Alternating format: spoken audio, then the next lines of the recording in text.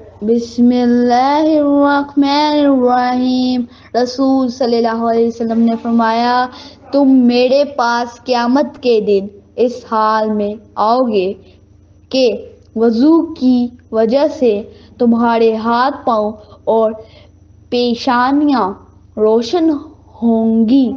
ये मेरी उम्मत का निशान खसूसी होगा और दूसरी किसी उम्मत का ये निशान ना होगा।